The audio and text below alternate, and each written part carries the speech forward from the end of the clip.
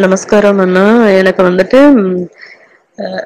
அது மௌனத்துல உட்கார போது ஸ்டில்னஸ்ல அப்படி இருக்கும்போது எப்படின்னா ஒரு குட்டி குட்டி குட்டி குட்டி குட்டி குட்டி ஒரு கூட்டம் மாதிரி திரளா ஏதோ தெரியுதா? நான் என்னன்னு எனக்கு தெரியல அது.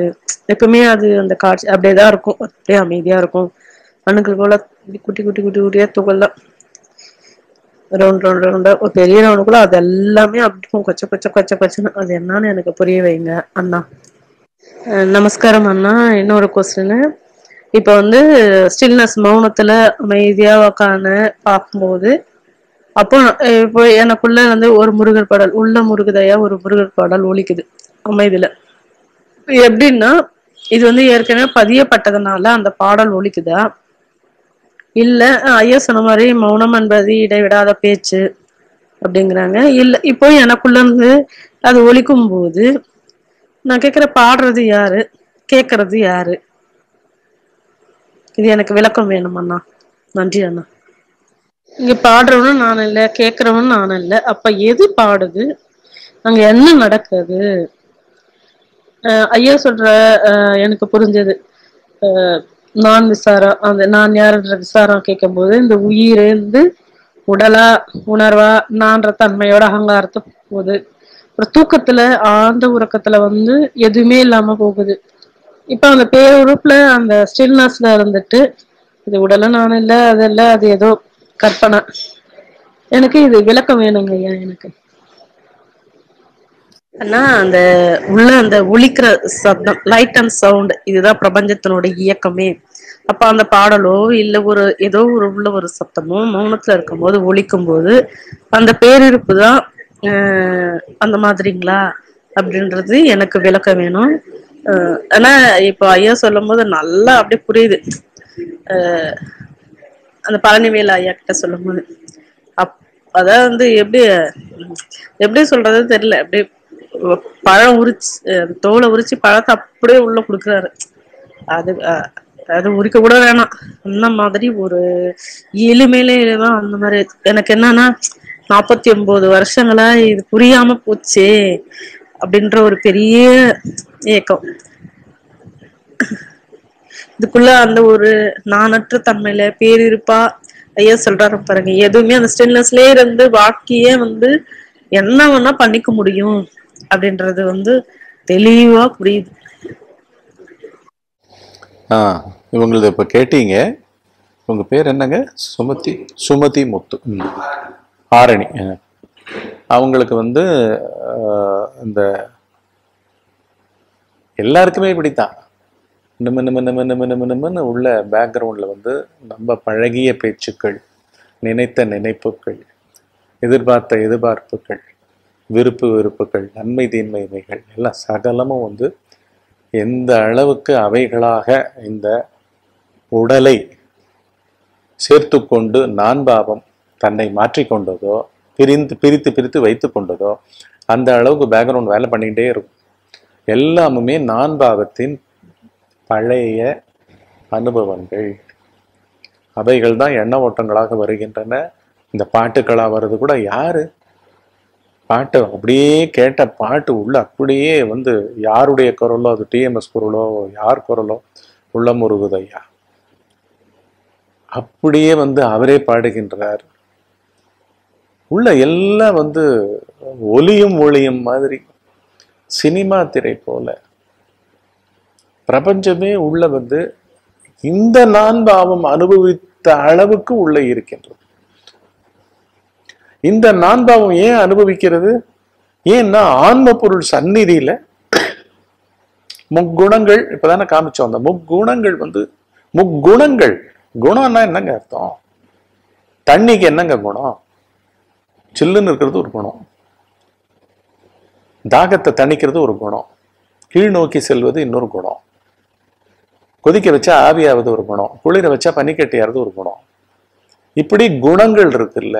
குணமயமாக அந்த ஆன்ம பொருள் இருப்பதை இந்த குணங்களே சுட்டி காட்டி கொண்டிருக்கின்றன. நம்ம கிட்ட இருக்கிற குணங்கள் எல்லாம் நம்ம கிட்ட இருக்கிறதெல்லாம் என்ன? நிறைய துர்குணங்கள் இருக்கிறதுனால தான் இது வந்து அகந்தை வந்து அவைகளாக என்னை என்னால் என்னோடு என்னுடன் எனக்கு என்னுடைய எண்ணில் எனக்கு பிடிச்ச பாட்டு எனக்கு ரொம்ப பிடிக்கும். டிஎம்எஸ் பாடின முருகன் பாடல்கள் எனக்கு பிடிக்கும் அப்படின்னு ரசிக்க ரசிக்க ரசிக்க ரசிக்கிறதுல தப்பு கிடையாது. ஆனா விஷயத்தை தெரிஞ்சுக்கிட்டு எல்லாத்தையும் வந்து நம்ம வந்து இங்க அணுகணும் வாழ்க்கையில. அதுதானே சூக்கமா வாழறது பொருளை தெரிஞ்சுக்கிட்டு பொருளை பிடிச்சிருங்க. பொருள் கோட்டையை முதல்ல பிடிச்சிருங்க. அதுக்கப்புறம் என்ன கலைகள் வேணுமோ எதுல வேணா நீங்க ஈடுபடலாம். என்ன ஆகின்றதுன்னு பார்த்தீங்கன்னா இதுவாயிடுது பற்றி கொள்கிறது. விட்டா அப்படியே பிடிச்சிக்குது. பாட்டுன்னா எனக்கு உசுருன்னு ஆரம்பிச்சிடும் கதை. அதுக்கோசரம் நிறைய ஜென்மங்களை எடுக்கும். கேட்டவர்களும் நீங்கள். அப்புறம் ஆக்சுவலா அவர் கூட அந்நியமா இல்லை. உங்களுக்குள்ளேயே பாட்டு பாட்டு வந்து எதிரொலிச்சுக்கிட்டே இருக்கு. வெளியில வந்து ஒரு ஸ்பீக்கரே வேணாம். ஒரு ஒலிபெருக்கியே வேண்டாம். வெளியில் வந்து ஒரு ஊடகமே வேண்டாம். ஒரு ரேடியோவோ ஒரு மொபைலில் வந்து எம்பி த்ரீ பாடல்களோ எதுவுமே வேணாம். ஒரு தடவை உள்ள போச்சுன்னா உள்ள தானாக ஹம் பண்ணிக்கிட்டே இருக்கும். நீங்கள் கூட பார்த்தீங்கன்னா காத்தால எழுந்து நல்லதாக ஒரு சைலண்ட்டாக நீங்கள் எழுந்துக்கும் போது ஒரு பாடல் எங்கேருந்தோ கேட்கட்டுமே அன்னைக்கு பூரா அந்த பாடல் ரீங்காரம் இட்டுக்கிட்டே இருக்கும். ஏன்னா நீங்கள் எங்கேருந்து பிரிஞ்சிருக்கீங்கன்னா அறிவு ஆகாசத்திலேருந்தே வந்து தனியான உடல் ஆகாசத்துக்கு உயிர் ஆகாசத்துக்கு நான் பாவம் உங்களை பிரிச்சிருக்கு உங்க மன ஆகாசமா. அதுக்குள்ள வந்து அந்த பாட்டு வந்து உள்ள வந்து உழுந்துடுது. இப்ப என்ன பண்ணுது? இந்த நான் பாவத்துக்கு வேற ஒண்ணுமே தெரியாது. கிளிப்பிள்ள போல அதையே மெட்டு உள்ள பாடிக்கிட்டே இருக்கும்.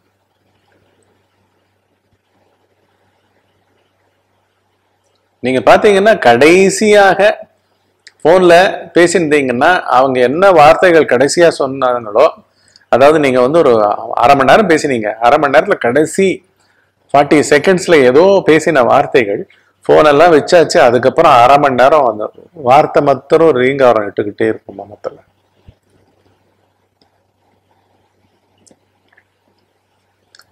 அதையெல்லாம் நீங்க வந்து ஏன் இந்த மாதிரி சொன்னார்னு அந்த ஒலிய நீங்க திருப்பி ரீப்ளை பண்ணி மொபைலில் பேசினவரோட பேச்சை கடைசியில் ரீப்ளை பண்ணி உள்ள பண் உள்ள அதை போட்டு பார்த்துட்டு அதில் ஒரு இன்டர்பிரிட்டேஷன் வச்சீங்கன்னா நல்ல ஆழப்பதியும் நம்ம வந்து நம்ம மார்க்கத்தில் மார்க்கம்ன்ற மார்க்கமற்ற மார்க்கம். ஏன்னா இங்கே பயணிப்பவன் கூட கிடையாது. எல்லா பயணிப்பவர்களும் சரி பார்ப்பவர்களும் சரி டெம்பரரியாக யூஸ் அண்ட் த்ரோ தான். பிணம் சுடு தடி போல. பிணத்தை சுடுறதுக்கு ஒரு தடியை வச்சுக்கிட்டு எலும்பெல்லாம் வந்து அந்த காலத்தில் வந்து சுடுகாட்டில் எரிக்கும் பொழுது அதை யூஸ் பண்ணி இது பண்ணிட்டு கடைசியாக அந்த குச்சியே நெருப்பு பற்றிக்குமா அந்த தடியை. அதையும் தூக்கி அப்படியே பிணத்து மேலே போட்டு எரியிற கொள்ளியோட அதையும் சேர்த்து போட்டுருவாங்களா பிணத்தோட. பிணம் சுடு தடியை அப்படியே தூர எரியிறா போல. இங்க வந்து நம்ம ஒரு பார்வை பார்க்கும் பொழுதே பார்ப்பவனையும் சேர்த்து அங்க போட்டு போய்கிட்டே இருக்கணும். மௌனத்துல போய் கரைஞ்சிடணும். மௌனத்திலையும் அச்சலத்திலையும் கரையணும். அதுதான் நம்ம பண்ண வேண்டியது. இவங்க என்ன கேட்டாங்க இப்போ? பாட்டை பாடுறவர் யாரு? ஒளி ஒலியும் ஒளியும் எங்க எனக்குள்ள நடத்துறவர் யாரு? அந்த கேள்வியெல்லாம் வேண்டவே வேண்டாம். நேரடியாக யாருக்கு கேட்கிறது? இல்லாட்டி யார் பாடுகிறார்? யார் நினைக்கிறார் பாட்டை? அப்படின்னு ஸ்ட்ரெயிட்டா உண்மையா? ஏன்னா நம்ம வந்து உள்ள வந்து இது வந்து ஒரு சந்தைக்கடை இல்லை. உள்ளுன்றது. ஆனால் சந்தைக்கடையா மாறி போச்சு உண்மையற்று போய் விட்டது பல பேர் கொடுத்தோன்னு நடத்துகிறாங்க உள்ள.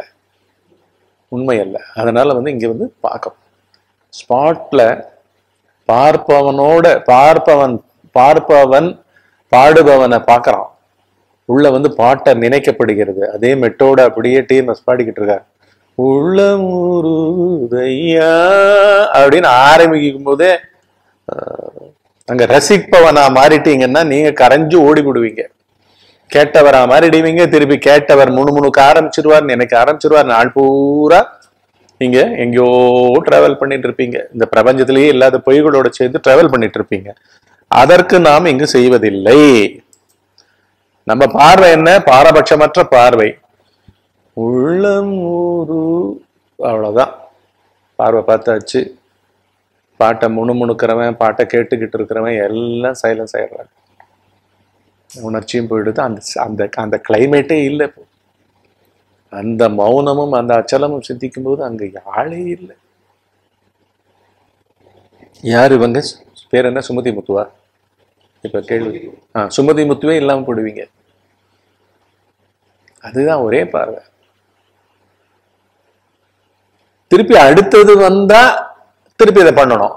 அப்ப திருப்பி வந்து சுமதி முத்துவும் இல்லாம போடுவீங்க சுமதி முத்து இல்லாம போறதுதான் அங்க உண்மையான நிகழ்வு. ஏன்னா ஆழ்ந்த உலகத்துல நீங்க இல்லை. டிஎம்எஸும் இல்லை உலகமும் இல்லை உள்ள முருகதையாவும் இல்லை. நம்மளுடைய சொரூபத்துக்கு போறது போறதுன்னு கூட சொல்லக்கூடாது. அது எப்படி இருக்கு? சொரூபத்துக்கு போக்கு கிடையாது. வரவு கிடையாது புணர்ச்சியும் கிடையாது. நம்மளோட நம்ம என்ன பண்ணணும்? உள்ள நடக்கிறதுலாம் அதோட போயிடக்கூடாது. அதோட வரக்கூடாது உள்ள. அதோட புணர்ச்சியும் வச்சுக்கூடாது நம்ம. உள்ள நடக்கிறதோட போக்கும் வரவும் புணர்ச்சியும் இல்லாமல் நம்மளும் இருக்கணும். நான் பாவத்தை இந்த பார் யாரோடையாவது போனேன்னா அப்படின்ற மாதிரி ஒரு பார்வை. யாரோடையாவது வந்தேன்னா அப்படின்னு ஒரு பார்வை.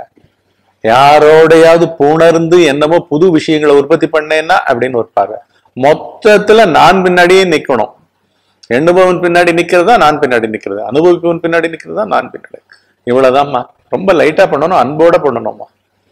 அன்போட கருணையோட பாசத்தோட ஏன்னா எல்லா மெய்ப்பொருள் எல்லா உடம்புக்குள்ளேயும் எல்லா எண்ணங்களுக்குள்ளேயும் எல்லா உணர்ச்சிகளுக்குள்ளேயும் எல்லாம் அறியாமன்னு சொல்லுங்க அறிவுன்னு சொல்லுங்க பேரிருப்புன்னு சொல்லுங்க வார்த்தையே முக்கியம் இல்லை. ஒரு செகண்ட் பார்த்தா சொரூபமாயிடுவோம் அவ்வளவே. ரொம்ப எளிதான சாதனம் அவ்வளவே இது. சரியா? இப்போ வந்து வேற என்ன இருக்கு? கேள்வி இருக்காதானோ?